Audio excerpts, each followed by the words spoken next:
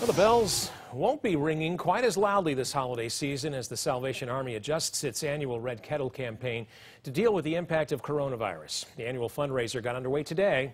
And while you'll see fewer bell ringers collecting donations, the organization has come up with more ways to help. WAAY 31's Alexis Scott talked with their spokesman about what you can still do to contribute and help a person or a family in need. Everyone knows the sound of the bells ringing while out holiday shopping.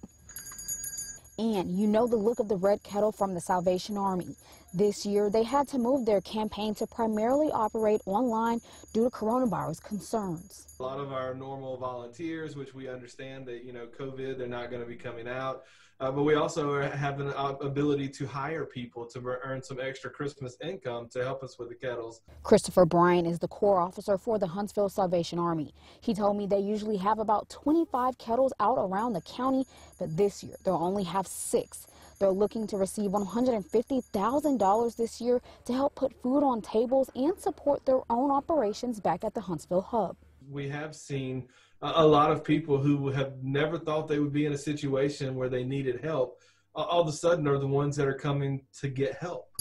To donate, you can do it two ways. You can go out and find your red kettle that's in your neighborhood and physically donate money, or you can go up to the sign and scan the QR code to make sure that you can donate virtually.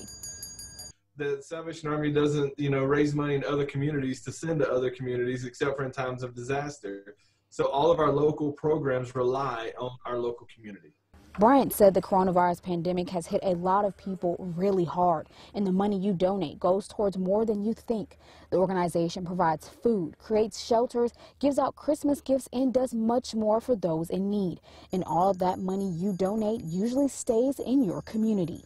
With the money and stuff that we're able to collect during these holidays, are not just for this month, they're to help our budget for the entire year. For the campaign, the Salvation Army is asking you to donate any way you can because it does end towards the end of December. Reporting in Huntsville, Alexa Scott, WAAY 31 News.